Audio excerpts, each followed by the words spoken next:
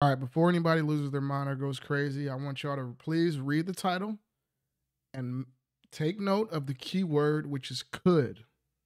Anthony Joshua could take that same blueprint that Francis Ngannou just laid out and beat Tyson Fury. And I'm going to explain why. I'm going to quickly explain why. If you look at Tyson Fury's career, there's a distinct moment where his style changed. Everybody knows early Tyson Fury, the version that beat Klitschko, the version that beat Cunningham, the version that first rose to fame, was known for being the big six nine heavyweight that moves like a lightweight. He had that herky jerky. Remember, remember he used to do the crazy herky jerky. Everybody called him boring. He never finished nobody. He was a decision fighter with great head movement, a quick jab. He would just jab you, stay on the outside, and nobody could touch him. Now, I want you to split that half of his career and then think about all his fights from the first Fury fight versus Wilder on. So the second Wilder fight, and then every fight after that, he had a significant change in his style when he went from Ben Davison to the new Kronk Gym. And the difference in his style, if even in his body style, if you look at the Klitschko fight, yes, he was a little bit chubby, but he had more muscle. He didn't have as much of a gut, and he didn't weigh in as heavy. And the reason why is his new style. He laughs at everybody when y'all make fun of his big fat body because that new big fat body is exactly what allows him to employ his new style. His new style is he puts that all that fat, he lays on you. He beats you on the inside. He still has that. He still has that style. He can still jab on the outside and beat you like that. But the way that he became a puncher and the way that he be, began to stop people. Look at that second Wilder fight. He walks him down. He clinches. He, he's one of the biggest clinchers in the game. Look at how much clinching he does. Even look at the Ngannou fight. Look at how much clinching he did. And the key where Francis Ngannou kept it competitive is this. Take note of this. Tyson Fury has not fought anybody that is as strong as him or as big as him in the clinch since he gained all that weight. Everybody know Deontay Wilder is known to be undersized. He weighs in 210, 220, maybe 230 at the most. Fury can put that big fat body all over him, and there's not a damn thing they can do. He can drain him. He can put the body on him. He can clinch him. He can bully him on tight. He can. You, you see, a lot of times he'll he'll lean on you and then push you up against the rope and then just kind of lay there. He puts his body into you. Now, this is where Anthony Joshua can come into this. Anthony Joshua and Francis Ngannou have very similar body styles. They're both about six six, and they both can weigh in if they want to get really slim and trim and get really disciplined. They can be like 240, 250, or like Ngannou did with this fight, they can come in heavy, they can bulk up, and they can be 260, 270, just as big as Fury. Francis Ngannou weighed in at 270. Francis Ngannou was not able to be bullied in the clinch. Francis Ngannou, he didn't win the fight overall, if you judge it round by round, but Francis Ngannou won on the inside. Y'all saw every time Fury went to clinch, he didn't look comfortable. He did not look comfortable. And I'm not saying this is like some, you know, revolution that we all just discovered and now Tyson Fury is just going to fall off and everyone's going to be able to beat him. No, it's going to take a certain body style, which is why I'm sick, which I'm like, which is why I'm pinpointing Anthony Joshua. Sorry, I just had a tongue twister there. I'm still picking Fury against Usyk because Usyk doesn't have that size where he's able to deal with this new walk you down, clinch you Tyson Fury. He he he doesn't have the size. He's six foot three.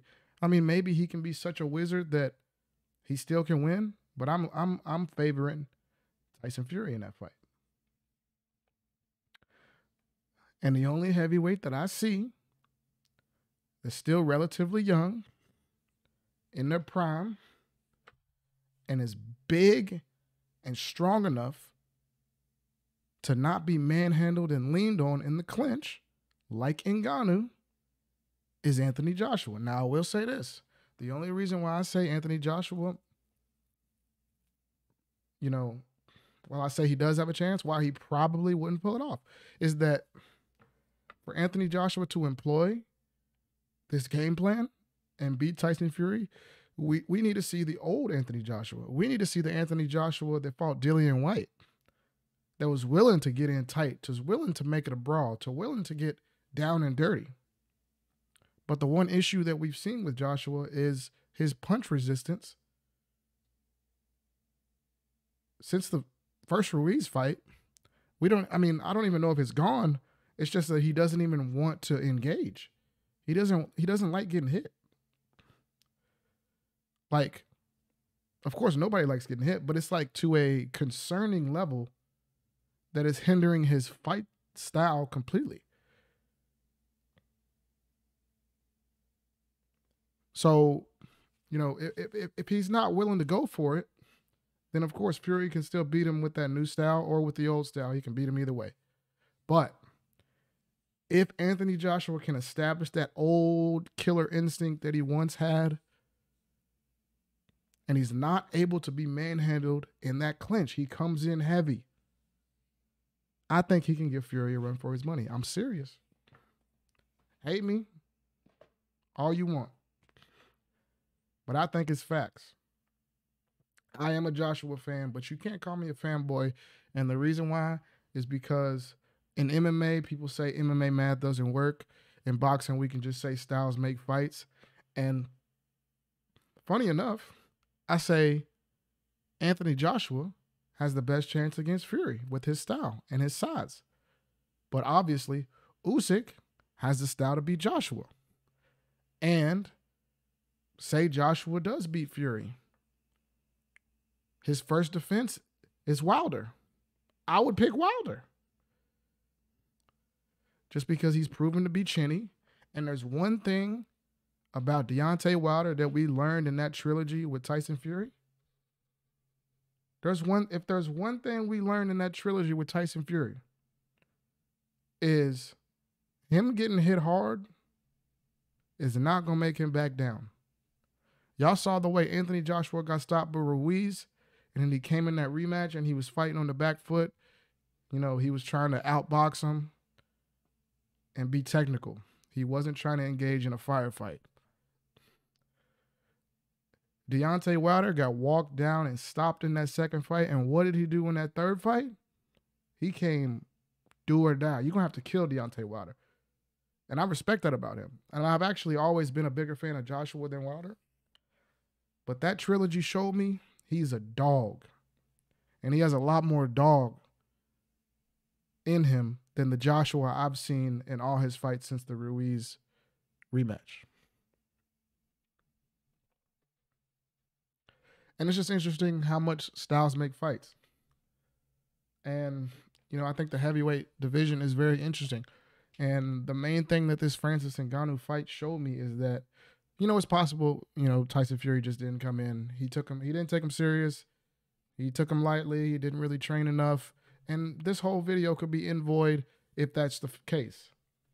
But if it's not, and and Ngannou really is able to muscle him around like that, no matter what, and that body style really is an issue for Fury, then we could be in for an interesting fight if Joshua reaches that point.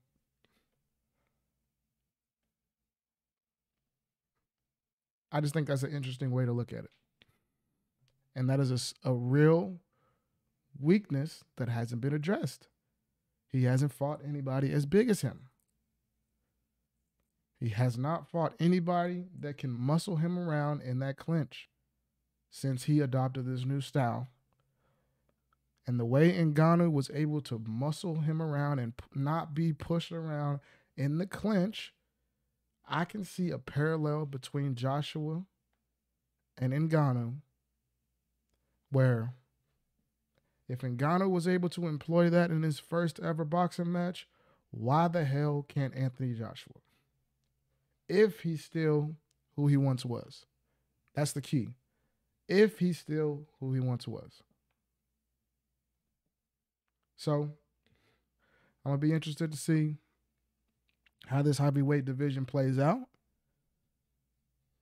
But um that fight showed me that maybe the skill gap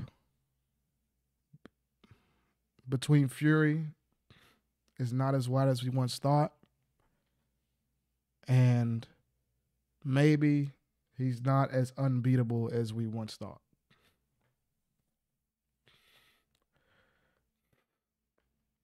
I don't know. Joshua, if you still got that dog killer instinct in you, I think you still got a shot.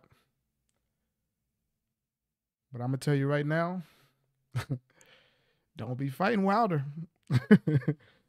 Eddie Hearn, hold out.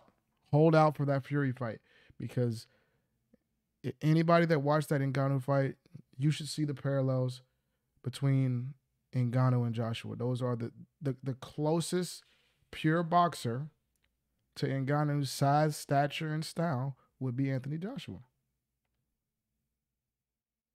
Simple as that. If you guys don't agree, please let me know. I hope I remembered everything that I wanted to cover in this video, but I do these videos off the dome. I do these live and I just kind of talk what I, what's on my mind. So if if if I missed something or if I said something dumb that you disagree with, drop a comment. We can debate in the comments. Let's get it. But I stand on what I said. That fight showed me the biggest threat that can use that same style is Anthony Joshua. Facts.